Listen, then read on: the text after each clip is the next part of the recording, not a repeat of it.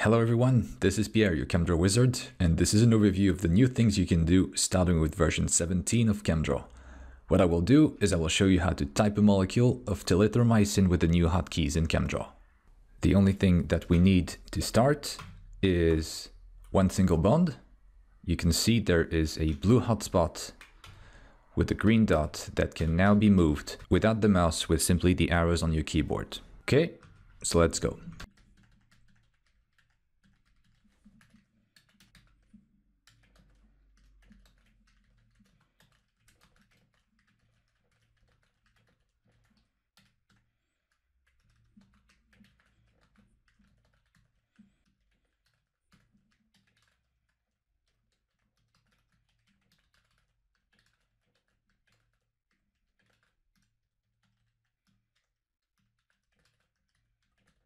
And that's it. So first of all, let's make sure that we have the right molecule drawn. I could also, of course, have done Control Shift N and then telithromycin. We can make sure that it has been properly and accurately drawn. Now there is a new reaction shortcut in ChemDraw version 17 where you can take a molecule or any other object and hold control and press the arrows on your keyboard. So control right, down and left will automatically create those reactions. And if I take this molecule here and I do control right on the edge of a page, then another page gets added automatically. Okay, so let's start with the basics. 0 and 1 are the hotkeys to insert a CC bond. Once you insert a bond, you will notice a blue hotspot with the green dot as an indicator.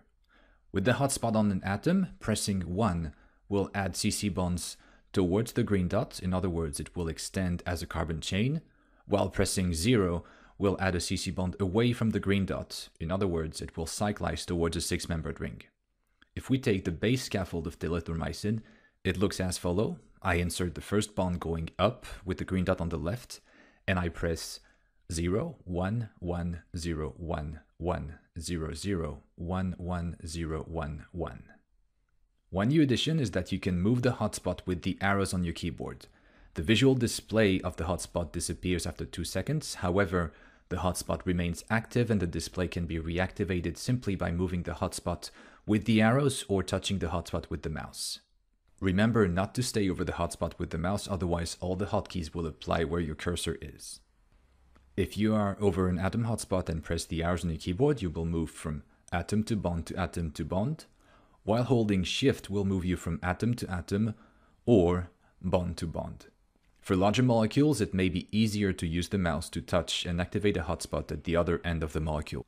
While you add a carbon chain with 1 and 0, you can of course alternate by pressing O for oxygen and N for nitrogen.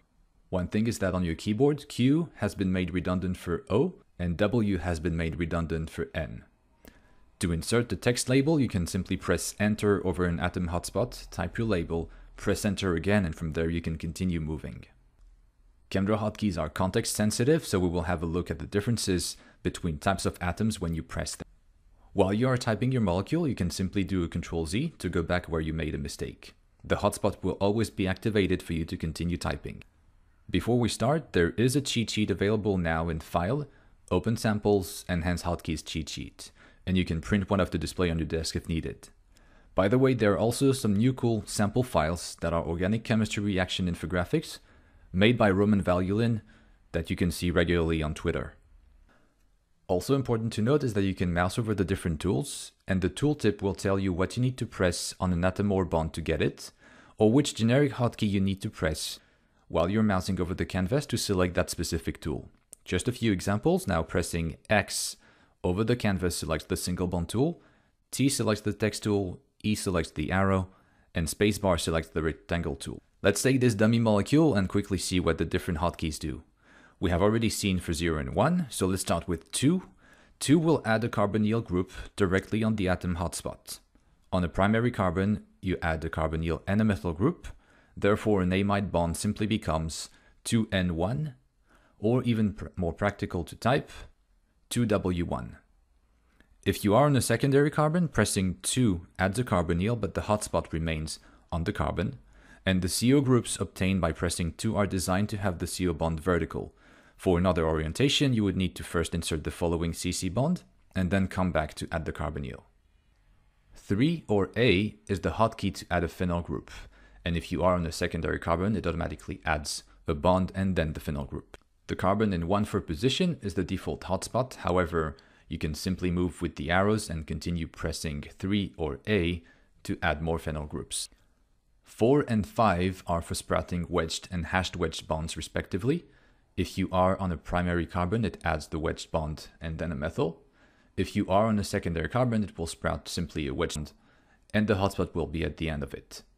As an example, starting from this molecule, we can type 42N1 52N1, 42N1, 52N1 to quickly type a natural amino acid backbone.